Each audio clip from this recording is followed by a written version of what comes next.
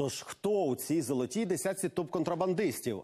Серед них одіозний львівський бізнесмен Володимир Дідух, якого називають кримінальним авторитетом Вова Морда.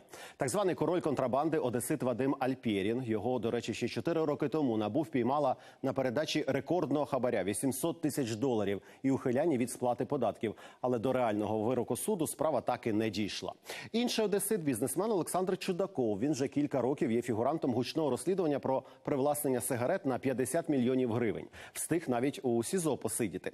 Загалом у санкційному списку всі колишні високопосадовці митниці та бізнесмени. Їхнє майно та активи заморожені. Не оминув санкційний ураган і чинних митників. Звільнили понад 100 людей, які можуть бути причетними до корупційних схем. До речі, сьогодні своїм указом президент ввів в дію це рішення РНБО.